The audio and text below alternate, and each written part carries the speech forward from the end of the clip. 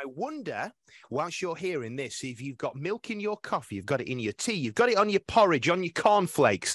What would you do if there was no milk? Do you know it's such a staple thing now in our diet, isn't it? Milk. So many people have it. And I know there's different kinds of milk, but to me, how can an oat or an almond lactate? It's not possible. So it's not real milk, is it? Let's just put it out there now. But I want to say good morning to our resident vet. Good morning, Chris. Good morning, Gareth. How are you doing? I'm very well, thank you. All the better for having you on the show. And well, so you mentioned on your email to me. So we have um, a little email chat a few days before we go on, and you said we're talking about dairy cows, which to me suggests that there's a difference between a cow and a dairy cow. Is that right? Well, dairy cows have been developed or bred specifically for milk production, Gareth, and that's been happening over really the last hundred years. They've uh, they've been getting breeds that uh, will produce milk, and they're slight in stature, really, but um, produce lots of milk. While a beef cow will be much stockier because that produces the meat that we like to eat, which is the muscle. But presumably, both of those cows, if they needed to double up, they could provide both. They could, but the, the amount of milk you get from a beef cow would be pretty poor compared to what you get from a dairy cow. Um, a dairy cow, if it's just not even trying, will produce 20 litres of milk a day. Now, you imagine 20 litres, that's uh, about 35 pint bottles of milk. And that's not even trying. They will get up to, you know, a sort of 40 litres if they're the peak ones and even higher. So they are amazing animals at producing milk, uh, but they need lots of tender loving care. Um, the old beef animal tends to be a bit, bit tougher. It's uh, it, it doesn't mind going out and getting wet in the all the different conditions and uh, will produce beautiful calves that they'll grow up to be your roast dinner if you have beef on a Sunday. Which sounds.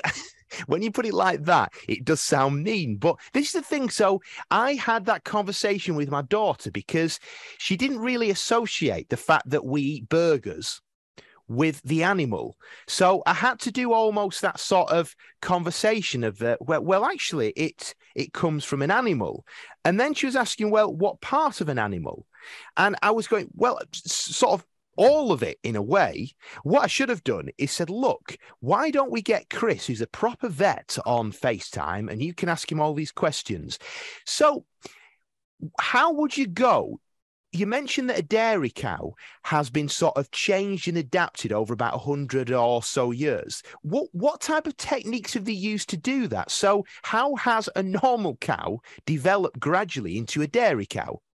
Well, what they've done is it's selective breeding, really, Gareth. They, they haven't done anything particularly funny. They've just selected those cows that are good at making milk.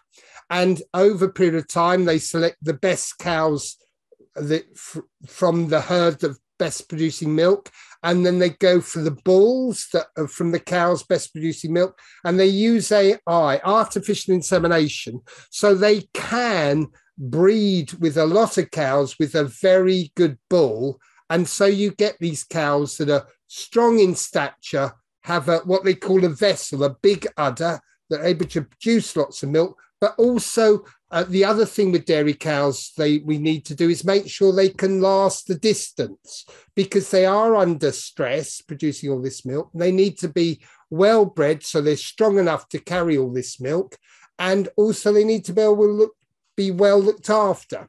So one of the th- interesting things is how they're bedded down, and um, when I was a dairy vet, we we got involved with cows actually being bedded down on sand.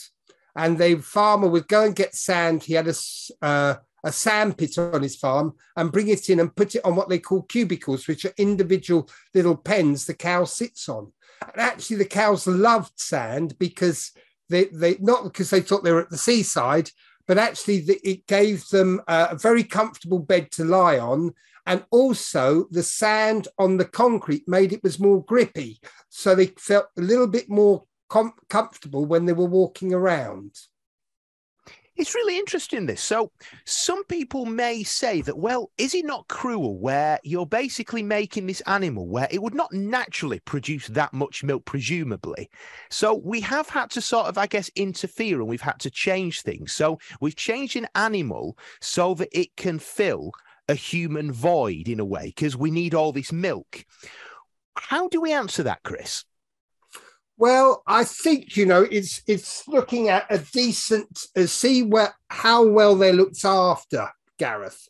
You know the the farmers are not trying these days. There was a time about twenty years ago when they were going just for huge volumes of milk, and they found that the the cows didn't last the distance. If you're with me, and so they've changed their policy now. They're looking for cows that will live six, seven lactations. So they'll probably be about nine years old um, when they come to their, their end.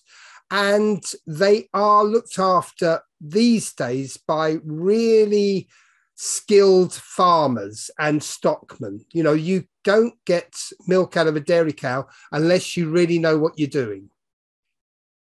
And I guess it was your job when you were a dairy vet to not only take care of the animals when they're not well, but also to make sure that they are being kept well. Exactly. One of the major things uh, that you get the milk to go on your cornflakes in the morning or the, the lovely frothy milk in your coffee, Gareth, is how well they're fed. And that became quite a passion of mine, making sure that the farmer because they grow a lot of food on the farm. So they'll grow maize, um, which is like our sweet corn you see growing on the English fields these days, and grass. And they'll also grow things like lucerne, which is a high in protein. But the grass and maize are the two fundamentals. And they cut it over, obviously, uh, towards the end of the summer, grass in this, well, and May, and then again, probably in August, September time. And maize tends to be have just been cut. That would have been in uh, late August, September. And the way they look after it is extremely important because these crops can go off. They've got to last the whole winter. And so they've got to be well compacted. They're made into silage and well looked after. It's a really skilled job to prepare the food so the, uh, the cows are really fed well. So thankfully, it's not something that somebody can just have a go at. You have to have years of experience, and presumably as well, these farms they tend to have a history behind them as well. So presumably generational, and they will have been passed on from uh, grandparents to children and etc. etc. So it's not something that somebody could just go, you know what? I think I'll open a dairy farm. Now, if you have got any questions for Chris, what we're going to do is uh, we are going to play a song and then come back with Chris in just a moment. But if you have any questions that you'd like to ask Chris, then the number, the WhatsApp number is 0161 511 9555. That's 0161 511 9555.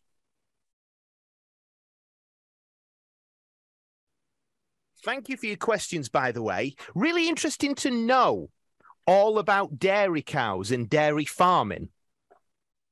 Now, this is an interesting one. Sandra says, is it pretty much the same principle when you get milk from other animals? Because we buy quite a lot of goat's milk. So, Chris, is, is it the same? Presumably, there's not as much need for goat's milk as there is cow's milk.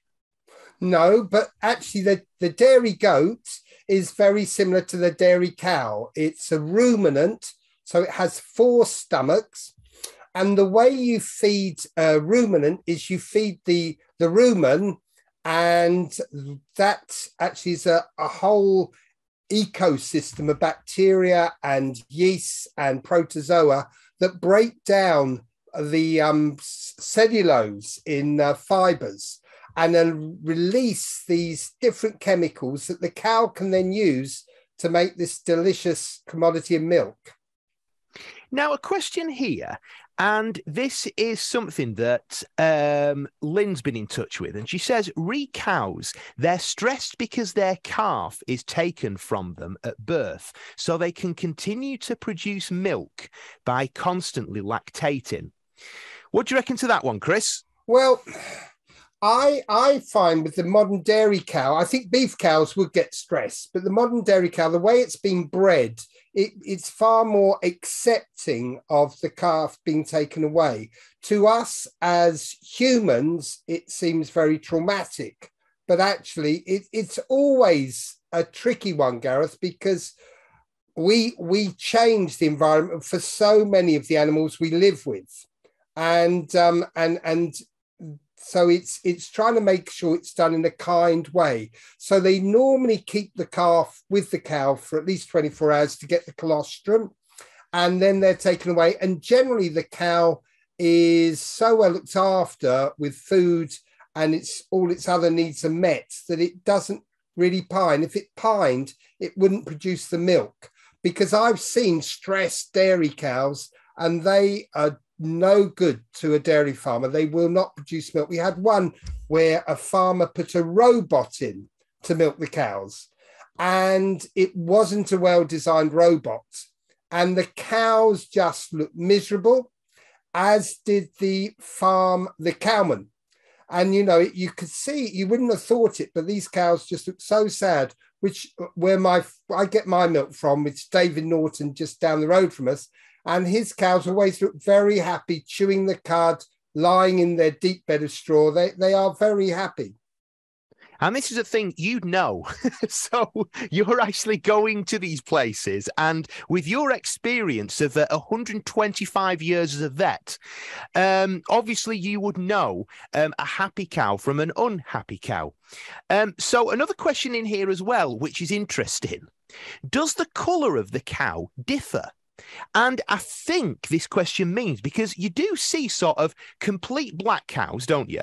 You see some which have got white spots on them. You can sometimes see cows which are more white than they are black. Does that have any difference in the milk it would produce?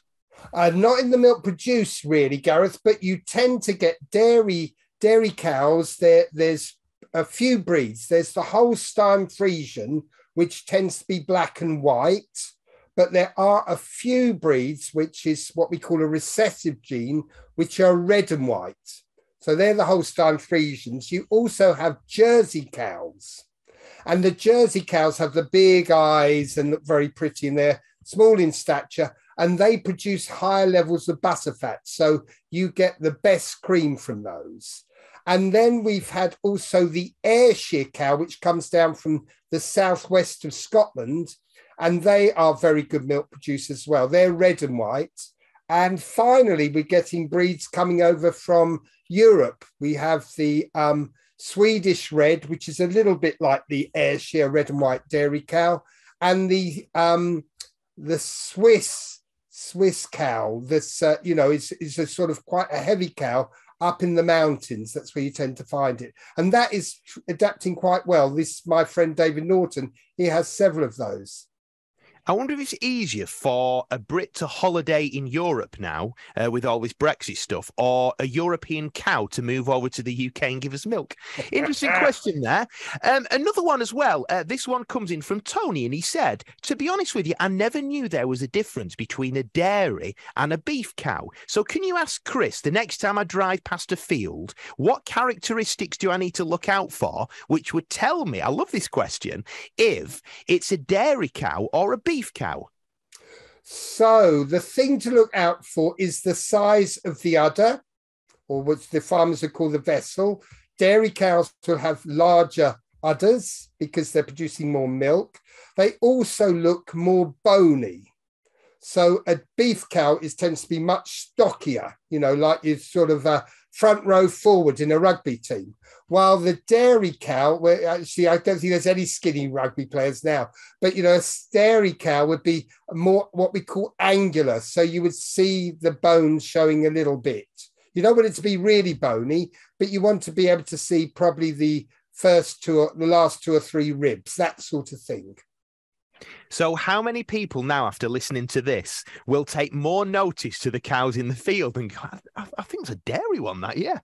Um, another one about cows. And then, if you've got enough time, I'd like just to put this question to you because this came in on Saturday, in fact, this, and it was titled um, A Question for the Resident vet, uh, vet Chris. So, we'll do that in a minute. But this one here, Um, this one comes in from Amy, and she says, "Would it be safe to basically get a cup and milk a cow in the field and drink it?" And I think she's probably referring to would there be bacteria bacteria in there that would harm a human being? Nowadays, with the way they test cows, the risks would be very, very low, Gareth. Um, I love raw, it's called raw milk, and I love raw milk. It's uh, got a different taste to the, the milk you get that's pasteurized. Um, we've done a lot of testing on the dairy herds. The milk sent off to check for nasties like brucellosis, that's been eradicated. Tuberculosis, that's been eradicated, except for certain parts in the southwest, but it's continually monitored. And also for salmonella, which can give you a nasty diarrhea. But you know, basically, if you're getting it, for, if you went out into a, a herd that was being milked and tested by the dairy, you would be very, very safe. And also, you know, the human stomach is an amazing thing. It's designed to kill off bacteria and does a pretty good job. I don't know how I'd feel about that. I don't know how I'd feel about basically going in a field with the farmer's permission, obviously, and just sort of putting it in a cup and drinking it when it being warm. Anyway, let's move on here. Uh, so, really interesting stuff, this. And we're so blessed to have Chris on with his years of experience, and he can actually tell us all about this. I mean, who knew? Even you know, 5% of what he's told us about dairy cows. I never knew. And this one here, so we'll move on to this quickly because it did arrive on Saturday. And it says, Could you put this to Chris, please? You've spoken so far about dogs, cats, horses, but many people have limited time and space in their lives. So, could you ask Chris, please, what are the pros and cons of smaller animals such as rabbits, hamsters, rats, and guinea pigs? Well, the the the pros is they don't take up so much room, obviously, Gareth, and they probably don't need quite so much looking after. Um, the disadvantage of these breeds is they don't live for very long. You know, average guinea pig, you're lucky if it makes four or five years. Um, rats, similarly, unfortunately, quite a few suffer from tumors, and that's one of the reasons they can can die early. I mean, they both, I think, make excellent little pets. Um, gerbils, hamsters, again, they, they'll live for even less time. Um, I think they're the difference to a dog or a cat. They're not quite the same of wanting to sit on your lap. They tend to be a little bit more scatty. And um, rabbits, I think, are a reasonable compromise but you have to be careful. If you have a house rabbit running around your house, you have to make sure it doesn't chew the wires, which can be a problem, and uh, or chew other bits of the house because they are. But they, I know a lot of people really do enjoy having these animals running around, and it gives them a sense of having something to care for and to enjoy uh, seeing how they interact with each other. I'm glad you said that because the follow up question says about house rabbits and guinea pigs. And can you trust a small guinea pig at home whilst you're out of the house? I guess it is just. Would you say that it's it's similar to baby proof in a house? Yeah, I mean, you would if you had guinea pigs running around your house. I would have it in a confined area. Otherwise, you're going to have wees and poos everywhere. They they they need to eat all the time. They're what we call trickle feeders, and you will be amazed how much fecal matter a guinea pig can produce. We've got three lads in a in a in a shed, and uh, it's phenomenal what they do. But um, you know, I would have them in, in confined unless when you're home, then you can have them running around, or have one room for them if you wanted to that you can easily clean out. And is it wise to have them in groups so they don't get lonely? For guinea pigs and rabbits, I would say so, yes. You know, they tend to like company. Um, well, thank you very much. Some really interesting questions coming through there. And Chris, um, thank you very much. Now, we were talking about actually October time because I'm going to have to take some time off because baby number three is arriving. So, what we're going to do is uh, Chris is going to take a break over October And to be honest with you, I don't know where I'll be. I don't know what I'll be doing. So, a few of the guests at the moment, I'm just saying, look, I'll send you a message when I know more to let you know if you're on the radio or not. So, you could be with us next week. You may not be with us. But if you're not with us next week, then you won't be with us until November time because you've got plans as well. Uh, funnily enough, uh, Chris is actually building a brand new veterinary surgery, if you haven't heard about this, and it's due to be opened in January, isn't it? That's right. Yep. January the 30th, we're, we're planning on. Um, and you have the exciting task this afternoon of picking what type of glass you want.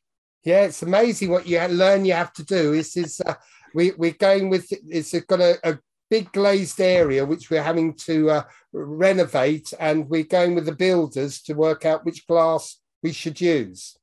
Exciting. Uh, thank you very much, Chris. Take care, and we will catch up with you maybe next week. But if not, you'll be back on the radio soon. And if you've got any questions at all for Chris about smaller animals, bigger animals, uh, maybe there's birds. We haven't touched upon birds at all yet. Then the email is studio at konnectradio.com.